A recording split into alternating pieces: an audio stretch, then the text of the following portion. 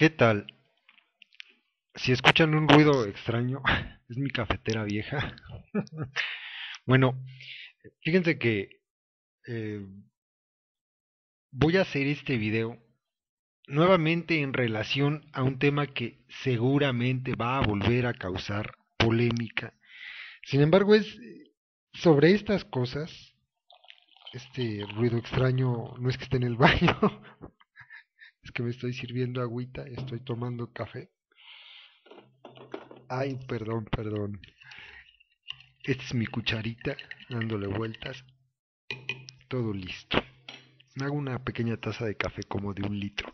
Pero bueno, eh, ¿en qué iba? Y hasta se me fue. En fin, estaba leyendo y he estado leyendo muchísimos, muchísimos comentarios sobre, obviamente, la indignación que hay ante la muy, muy inminente imposición del pendejo de Peña en la presidencia y leo cosas que de verdad me sorprenden mucho.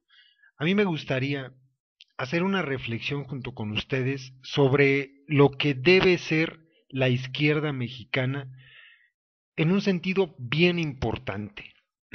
Ya por mucho tiempo, durante creo que toda la vida, se ha considerado que la izquierda es la belicosa, la de los pleitos, la que arma desmadres, la agresiva, porque ese es el mote que le han dado desde los medios de comunicación que por supuesto pertenecen a la derecha y por lo tanto pues ven en estas actitudes a veces bastante fuertes el mejor clavito para poder descalificar a la gente de la izquierda. Sin embargo, ahora nos estamos acercando algo que es muy delicado. Miren, no hay que ser incongruentes. Si yo les pregunto en este momento a todos ustedes que tienen alguna afinidad con la izquierda en México, en el mundo, ¿qué opinan de la guerra de Calderón? Todos, absolutamente todos, van a decir que está bien pendejo, que fue una locura, que cómo se atrevió, que los muertos, todo eso que es una realidad. Todo eso que hemos discutido tanto aquí, todas esas babosadas que Calderón permitió que ocurrieran, que propició con los soldados, con el ejército en las calles, y que convirtieron a México en esto, en un matadero, en este país completamente ensangrentado. Y entonces, si ustedes tienen ese pensamiento tan firme de que Calderón se equivocó, yo les pregunto, ¿cómo carajos están diciendo que necesitamos una revolución armada? Díganme, ¿en qué cabeza cabe criticar la guerra de uno para después venir y hacer la guerra nuestra? ¿Que no se trata exactamente de lo mismo? Al final, el resultado de cualquier guerra, de la que quieran, mencionen la que gusten, el resultado es que siempre pierden los más jodidos y hay muertos. Esa es la realidad. Entonces hay que quitarnos esa incongruencia. No podemos estar llamando a una rebelión. No podemos estar llamando a tomar las armas. No podemos estar diciendo que hay que salir aunque sea con machetes y palas y, picos y, y piedras a enfrentar al ejército. Pero por supuesto que no. Ayer platicaba con una de las chicas de la página y le decía, ¿qué harías tú? Y fíjense cómo dicen por ahí que Dios los cría y ellos se juntan, cómo coincidimos en algo. Y esto va también eh, como respuesta a algunas personas, a muchas personas que dicen, bueno, ¿y tú qué propones? Yo tengo una hipótesis. Y coincido con lo que eh, platicaba con esta chica de la página, con esta administradora, porque creo que estamos en el mismo camino. Seguramente por eso podemos seguir trabajando en esto. El camino es informar. Mi hipótesis es que si la información verdadera puede llegar a la mayoría de los mexicanos, el país va a cambiar. Y no va a haber necesidad siquiera de una revolución armada, es más, no va a haber necesidad siquiera de unas nuevas elecciones con los mismos métodos de siempre. Porque cuando la mayoría de la gente se entere de la porquería de instituciones que tenemos para calificar hacer, armar y dirigir una elección, nadie va a querer, nadie va a querer volver a votar. Ya no hablemos siquiera de un partido o de otro. No, no, nadie va a querer volver a votar. Porque sería estar haciéndole al pendejo. Y entonces, el camino es ese. Yo estoy a favor de, la presión social, de la resistencia civil activa.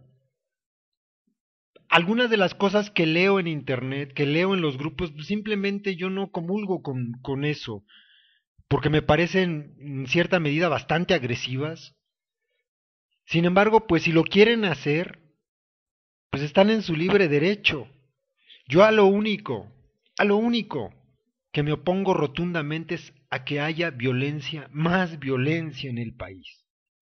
Si quieren ir a levantar plumas de las casetas, pues yo no lo veo tan mal. Aquellos dirán, están violando las leyes, hijos de su puta madre, pero ustedes han violado las leyes del país cuando se les da la gana. Entonces nosotros también podemos hacerlo y nuestro fin es noble. El de ustedes nada más es para llenarse los bolsillos de dinero. Si quieren bloquear carreteras, pues adelante, ya aquellos van a saltar y van a decir y van a emperrarse y van a decir que estamos violando eh, el derecho de terceros, de cuartos, de quintos, de sextos, pero ellos han violado nuestros derechos durante décadas. Entonces estamos en igualdad de circunstancias y lo que estamos haciendo o lo que harían estas personas que decidan irse por ese camino sería pues, pagarles con la moneda que ellos nos dieron y no está mal. Se lo merecen. Pero no podemos ponernos con Sansón a las patadas y no podemos estar llamando a una revolución armada, no podemos hacerlo. Yo respeto estas posturas, no las comparto. No las comparto simplemente. La resistencia civil activa es el método, pero esta resistencia civil activa tiene que ser informando, primero, antes que otra cosa. Tengo también otra teoría. Y ya lo he dicho en algunos videos, yo estoy seguro que ese porcentaje que aumentó de votos la izquierda en este país de la elección de 2006 a esta es gracias a la información que nosotros transmitimos en las redes sociales. Hablo de todos. Porque vaya que cambió la forma de pensar de millones de mexicanos. Miren, aquí mismo en los canales y en la página yo lo puedo notar. Mucha gente antes de la elección, durante la campaña y después de la elección, en los canales daban las gracias y decían que gracias al esfuerzo que estábamos haciendo habían logrado cambiar la opinión que tenían sobre los políticos, sobre Andrés Manuel, sobre la izquierda y sobre la situación del país. Y ese es el punto. Entonces tenemos que salir de aquí a informar. Vamos a hacer de la información el arma que ellos no van a poder detener, la información verdadera. Le decía yo en la tarde a esta chica que en el pasado quien tenía las armas era quien dominaba el mundo. ¿Estamos de acuerdo? En la actualidad quien tiene el dinero es el que domina el mundo. Tienen armas y dinero. Pero esto está cambiando. Porque nunca se habían enfrentado a una oposición como la que les está representando las nuevas tecnologías. Nunca. Porque los ciudadanos no reclamaban lo que desconocían. ¿Cómo vas a reclamar algo de lo que no te enteraste? Sin embargo, a raíz de que tenemos nosotros la información y la podemos transmitir, va a empezar a cambiar esto. Esto es un hecho. Es imposible que la gente, por muy pendeja que esté, al ver la realidad no se indigne. Al conocer la verdad no diga no mames. Y lo que tenemos que hacer es seguir informando. Entonces, en la actualidad y de aquí en adelante, el poder va a estar en la información. Esto es lo que va a hacer cambiar la mentalidad y las ideologías de muchas personas. Se está llamando ahora a un paro nacional. Híjole, ojalá, ojalá quien lo llama tuviera el arrastre, la fuerza, los seguidores suficientes, pero yo no creo que pueda funcionar. Es una excelente idea. También aquí lo hemos discutido. El paro nacional le parte la madre a cualquier gobierno. No hay nación que lo resista. No hay nación que lo resista. Y seguramente tendrían que echarse para atrás con lo que nos acaban de hacer. Pero necesitaríamos una fuerza muy grande. El único en este país que pudo haber llamado a un paro nacional fue Andrés Manuel y no quiso. No comento más de eso. Simplemente no creo que haya, y no hay en este país, una persona que pueda llamar a un paro nacional y que la masa de personas que lo pueda seguir sea suficiente para que funcione. Hay estrategias más útiles, el boicot, pero el boicot verdadero cuesta mucho trabajo. Había dejado yo de tomar Coca-Cola durante muchas semanas y me acabo de tomar una. O sea, cuesta mucho trabajo, pero hay que intentarlo. Acabo de cancelar una cuenta que tenía en Bancomer y no la voy a volver a usar. son ese tipo de detalles los que funcionan. Nos comparte por ahí muy seguido un comentario una persona que participa en los canales Francisco en la página, nos dice sacar el dinero de los bancos todos, todos al mismo tiempo y a chingar a su madre el sistema monetario del país y eso los truena. O sea, hay varias cosas que se pueden hacer antes de seguir pensando que podemos enfrentarnos al ejército y al gobierno de una forma bélica. No podemos. No hay que contradecirnos. Nuestros ideales no son esos. Nuestra forma no tiene que ser esa.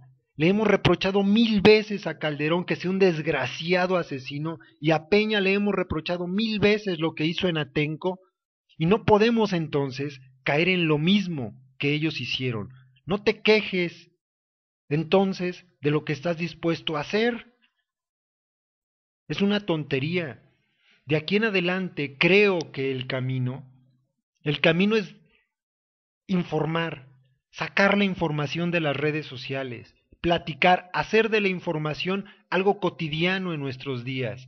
Que cuando te subas al taxi le platiques al taxista y le siembres la duda. Que cuando vayas a la tienda le platiques al de la tienda y le siembres la duda. Así tiene que ser. Y no va a costarnos dos o tres años. Esto puede ser una tarea de mucho tiempo.